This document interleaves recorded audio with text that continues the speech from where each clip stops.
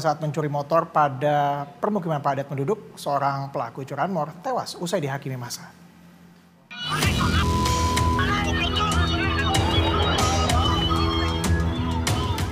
nekat melakukan pencurian motor saat warga menggelar hajatan. Seorang pelaku curanmor di desa Kalibendo, Lumajang, Jawa Timur menjadi sasaran amukan masa. Usai aksi pencuriannya kepergok oleh warga.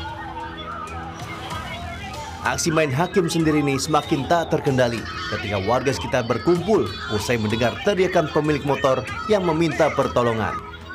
Dalam video amatir yang beredar, memperlihatkan pelaku yang sudah tak berdaya dan bersimbah darah usai dihajar masa. bilangnya beli rokok ke depan Ya. habis itu tidak ada kembali pak saya tidur terus malam jam 3 oleh anu dapat kabar itu kakaknya di rumah sakit ten kata si adik akhirnya saya ke rumah sakit sini Kondisinya gimana?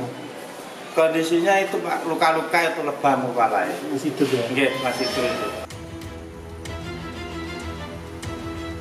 Meski sempat dilarikan ke rumah sakit untuk mendapatkan pertolongan medis, nyawa pelaku tak tertolong.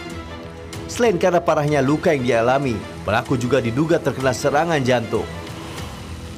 Sejumlah barang bukti pun sudah diamankan dan kasus ini tengah ditangani pihak berwajib. Rifki dan Wanus, Lumajang, Jawa Timur. Informasi